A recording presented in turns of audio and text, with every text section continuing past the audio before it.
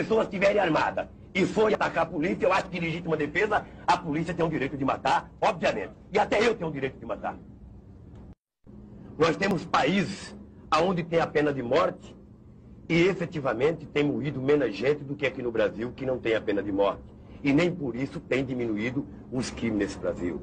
Se você pergunta para as pessoas que foram vítimas, e se eu fosse vítima, eu dizia para você, eu não precisava nem a polícia matar, eu mesmo matava. Se as pessoas estiverem armadas e forem atacar a polícia, eu acho que legítima defesa, a polícia tem o direito de matar, obviamente. E até eu tenho o direito de matar.